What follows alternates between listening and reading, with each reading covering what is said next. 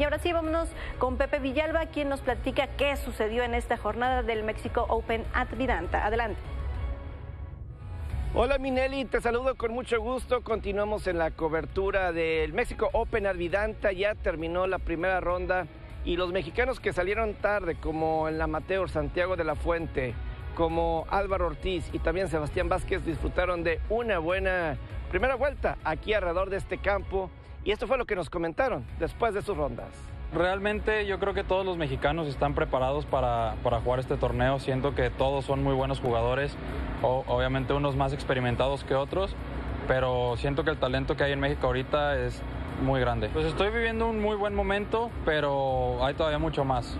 O sea, hay muchas cosas que mejorar todavía y mucho crecimiento tanto personal como golfístico, pero estamos en un muy buen momento. Y de cierta manera, ¿no? Es, es, es solo un, una ronda de, de, muchas. Al final de cuentas creo que el trabajo verdadero, lo que realmente no se ve, es lo que cuenta, ¿no? El, el, el día al día a través de los, de los meses, de los años, es lo que me ha traído aquí. Pues la verdad muy agradecido que tengo esta oportunidad y bueno, buen comienzo y falta mucho faltan 54 y no hay que mantenernos concentrados este, y hacer una buena ronda mañana en la mañana para posicionarnos a, para el fin de semana.